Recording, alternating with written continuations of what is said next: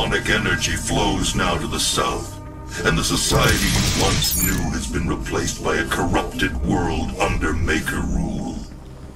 It did not need to end this way.